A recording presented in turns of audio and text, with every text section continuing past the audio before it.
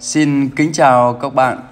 Sáng nay ngày mùng 2 tháng 12 năm 2019, tôi xin dâng các bạn một clip với tiêu đề Lan rừng và câu Ngưu tầm ngưu, mã tầm mã.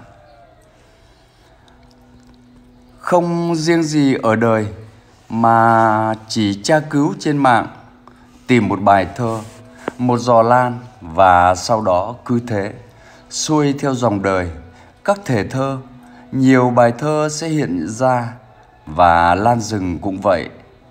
Nào bán lan, nào mua lan, nào ghép lan lại xuôi theo dòng đời trên mạng.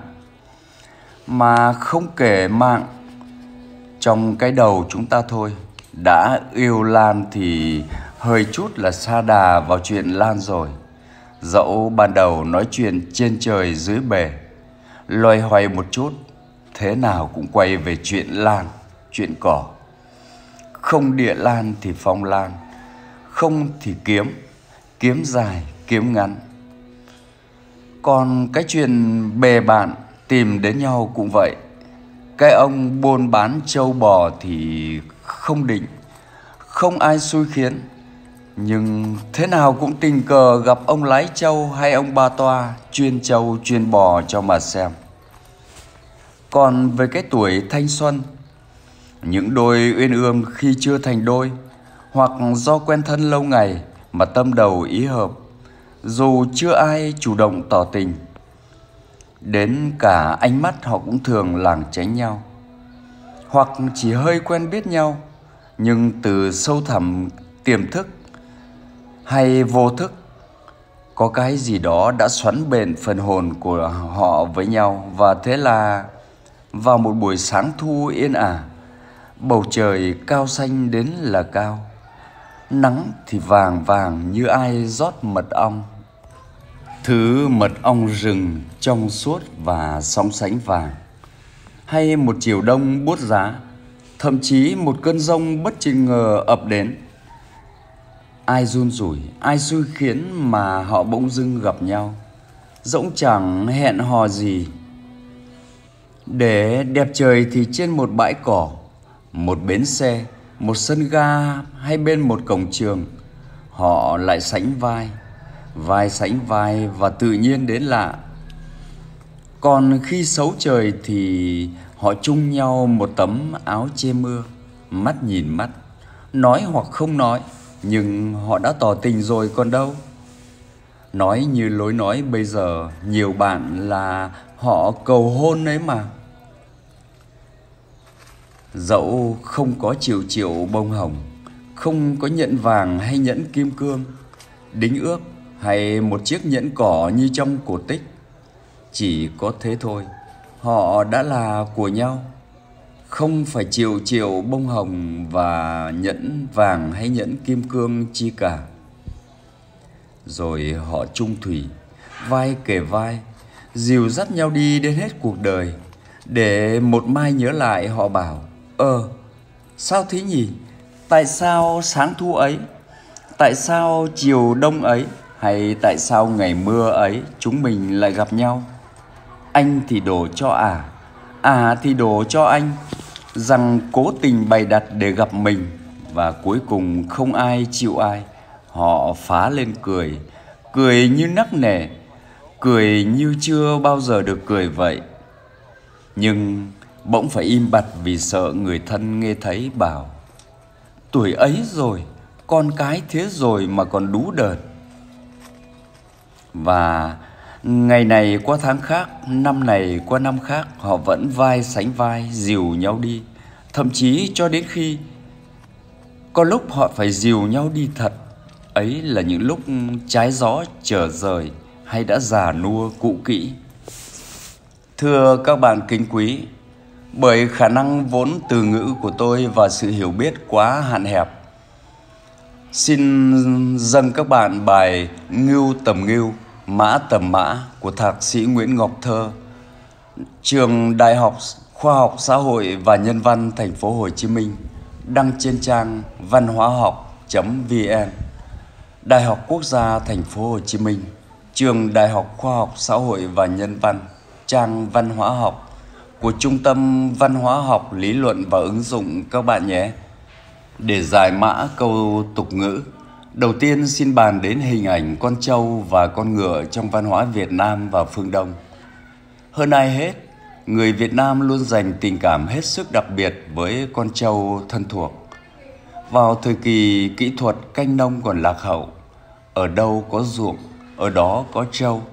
Việt Nam, Đông Nam Á, Nam Trung Hoa xưa vốn là chiếc nôi của nông nghiệp lúa nước, nơi con trâu được thuần dưỡng rất sớm trong lịch sử canh nông.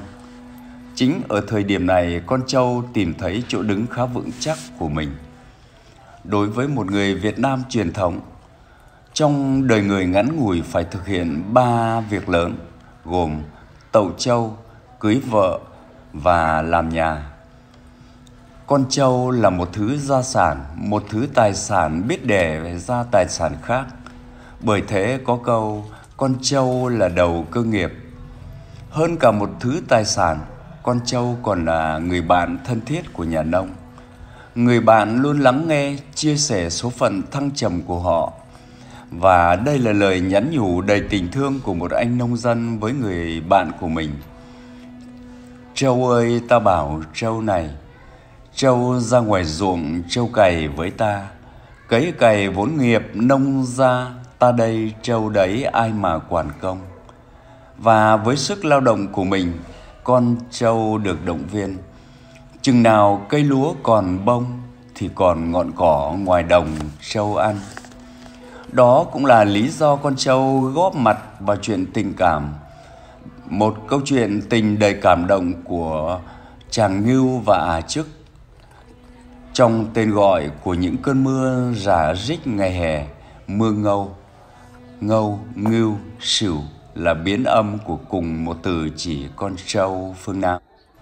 Tương tự người Việt Nam ta còn mượn hình ảnh con trâu để làm chất liệu đúc kết thành nhiều bài học quý giá ở đời qua các tục ngữ cổ như Châu ta ăn cỏ đồng ta Ruộng sâu trâu nái không bằng con gái đầu lòng Trâu chậm uống nước đục Trâu buộc ghét trâu ăn Mua trâu xem vó lấy vợ xem nòi không có trâu bắt bò cày Vân vân và vân vân. Con trâu còn được hiểu để biểu tượng sự chân chất, hiền hòa. Câu chuyện 12 con giáp kể rằng, theo lời thượng đế, con vật nào đến trước sẽ được chọn trước. Con trâu đã đi từ hừng sáng, song vì quá hiền lành, đã để con chuột láu lỉnh ngồi trên lưng mình và cuối cùng chuột đã phóng về đích trước và thế là châu đành chấp nhận vị trí thứ hai sau tí là đến sửu có một thực tế rằng trong tâm thức dân gian việt nam trâu có vị thế cao hơn bò. Bò tuy nhanh nhẹn hơn, song không thể giúp nhiều công việc đồng áng bằng trâu. Trong câu chuyện thằng bờm, chiếc quạt mo đã được ra giá bằng ba bò chín trâu. Bò chỉ có ba con mà trâu lại đến chín. Trâu nhiều thì lúa gạo sẽ nhiều, của cải nhiều, đời sống trở nên thịnh vượng vì thế khi gả con hay cho con cái ra riêng, nhiều gia đình tặng trâu làm của hồi môn. Tương tự trong dãy địa chi, 12 con giáp, xỉu được cụ hộ thể hóa thành trâu chứ không phải bò như các nước Trung Quốc, Nhật Bản, Triều Tiên. Trong bối cảnh hiện đại, khi mà máy móc đã thay thế dần sức cày, hình ảnh con trâu dần vắng bóng dù vậy, con trâu vẫn bàng bạc trong tâm thức mỗi người con đất Việt. Ở đâu đó trong tâm tưởng, bức tranh Đông Hồ, Mục Đồng vẫn gợi cho chúng ta những ký ức hồn nhiên về thơ ấu. Ở đâu đó trong những trang sách, tiếng bì bõm của lũ trâu đen vẫn vọng về trong mùa len trâu vùng nước nổi và vẫn còn đó những địa danh quen thuộc là Bến Nghé, thành phố Hồ Chí Minh, là Châu Quỳ, Hà Nội, là Đa Ngưu, Châu Đầm, Bắc Ninh, vân vân. Vẫn còn đó âm sắc rộn ràng của hội trọi trâu đổ sơn như trong câu thơ dù ai buôn đâu bán đâu mồng 9 tháng 8 trọi trâu thì về. Dù ai bận rộn chăm bề mồng 9 tháng 8 nhớ về trọi trâu. Đó là con trâu con ngựa. Trong tục ngữ ngưu tầm ngưu mã tầm mã có tính đến mối quan hệ văn hóa giữa Việt Nam và phương Bắc. So với phương Nam, phương Bắc vốn xuất phát từ nền văn minh du mục và nông nghiệp cạn. Người ta chưa cần đến sức trâu cày cấy. Chính vì thế con trâu được gọi chung với con bò, ngưu. Chỉ khác là ở chỗ nó gắn thêm từ nước ở phía trước để phân biệt thủy ngưu. Thay vào đó những cuộc di chuyển trên thảo nguyên bao la hay trên những con đường thiên lý đòi hỏi họ phải quý trọng con ngựa sau đến con lạc đà. Nam di chu, bắc di mã. Người phương nam di chuyển bằng thuyền, người phương bắc di chuyển bằng ngựa là một minh chứng sống động nhất. Ắt vì thế, người phương bắc dùng nhiều mỹ từ để diễn tả con vật của mình, nào là tuấn mã, nào là kim mã, long mã, gắn với ngựa với ý nghĩa may mắn. Mã đáo thành công khi xử lý một tên tội đồ người ta dùng chiêu tứ mã phanh thầy khi nói về kinh nghiệm đường đời họ nói lão mã thức đồ ngựa già biết rõ đường đi lối về vân vân. Trong các chuyến buôn trà giữa vùng Vân Nam đầy hiểm trở ra thế giới, người ta đánh hàng trên lưng ngựa vượt muôn trùng không gian và thời gian để tên gọi trà mã cổ đạo lưu danh thiên cổ. Cần biết rằng người trung hoa không nói ngưu tầm ngưu, mã tầm mã. Thay vào đó, họ sử dụng ngựa và bò để kết thành tục ngữ, thành ngữ khác chẳng hạn. Tác ngưu đương mã, làm thân ngựa bò, tương đương với câu làm thân châu ngựa ở việt nam. Kỳ ngưu ôn mã, Cưỡi bò đòi chăn ngựa. Đứng núi này trong núi nọ. Hô ngưu hô mã, Cho là bò cũng được, Cho là ngựa cũng được, Bằng mắng khen tùy ý. Đồng ngưu giác mã, Bò không sừng, Nhưng ngựa mọc sừng, Điều trái lệ thường. Thổ ngưu mộc mã, Bò đất ngựa gỗ, Điều không có thực. Kỵ ngưu tầm mã Cưỡi bò tìm ngựa Truy xét ngọn nguồn sự việc. Ngưu canh điền Mã thực cốc Bò cày ruộng Còn ngựa ăn thóc. Người này làm cho người khác ăn. Hoặc ngưu thực thảo Mã thực cốc Bò ăn cỏ Còn ngựa ăn thóc Bằng đại ngộ không công bằng Vân vân. Trong tất cả các tình huống đối với họ, con ngựa mới là con vật được mong đợi, quý trọng. Ngược lại, con bò luôn chịu phần thua thiệt.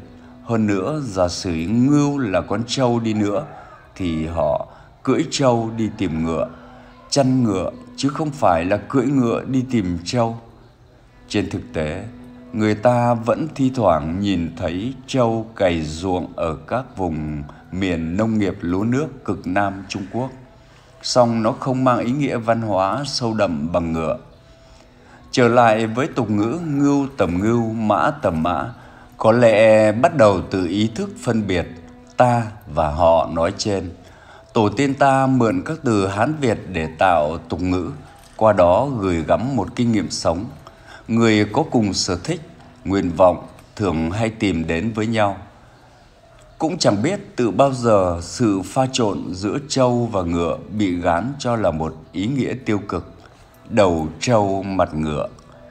Ban đầu thành ngữ này dùng để ý nghĩa trắng đen không phân minh, lâu dần chuyển thành phường lưu manh vô lại. Cũng có ý cho rằng thành ngữ này xuất phát từ hai tướng quỷ ngưu đầu, mã diện dưới thập điện Diêm Cung trong truyền thuyết đạo giáo. Dù thế nào đi nữa, các ý nghĩa này xuất hiện muộn, không thể hiện được nội dung đích thực của ngưu tầm ngưu, mã tầm mã trong cách nói của người Việt. Dẫu biết chim cùng màu lông sẽ bay chung một đàn, kiến cùng loài sẽ tha chung mồi về tổ, song cần chấp nhận một thực tế rằng khi đất nước mở cửa giao lưu với thế giới, chúng ta phải điều chỉnh chính mình để hòa vào dòng chảy chung của thời cuộc. Lấy một ví dụ cụ thể, một diễn đàn gần đây bình luận rằng người Việt Nam ít nói cảm ơn, xin lỗi. Có ý kiến cho rằng người Việt quen diễn tả tình cảm bằng tấm lòng, chứ không bằng câu chữ. Điều đó đúng, nhưng nó đã không phù hợp nữa. Vậy tại sao chúng ta không theo làm theo lời dạy của ông bà từ ngàn xưa để lại? Đi với bụt mặc áo cà sa, đi với ma mặc áo giấy.